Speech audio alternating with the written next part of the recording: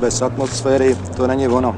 A ani by to diváky netěšilo. Konec konců atmosféra dokáže vyhecovat i mužstvo k vynikajícím výkonům. My máme zjištěno, že vlajkonoši jsou právě ten element, který tu atmosféru dokáže udělat. No, dneska by to šlo. Kam tam lezeš? Já se vám divím. Chováte si jak zvěř.